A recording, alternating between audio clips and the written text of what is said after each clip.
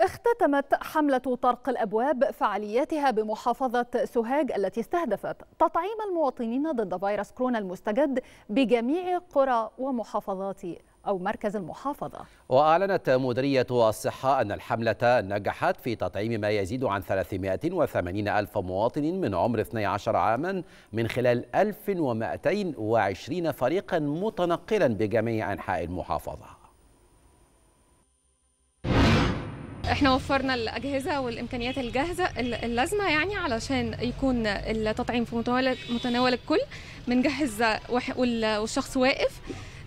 أي حد معدي أي حد في الشارع عنده مشكلة إحنا موجودين يعني. في إطار تسهيل الإجراءات ووصول الخدمة للمواطن في كل مكان. بننفذ حملة تطعيم كورونا. واقفين في الميادين حاطين فرق في كل مكان. معانا فرق مدربة. التسجيل بيبقى سريع. اطقم التمريض كلها مدربة على التطعيمات. التطعيمات كلها متوافرة جميع الجرعات وجميع الأنواع. بنحب نوصل لكل واحد وبنقول له إن التطعيم آمن واللي ما أخدش يجي ياخد واللي عنده جرعات متأخرة يتفضل يشرفنا.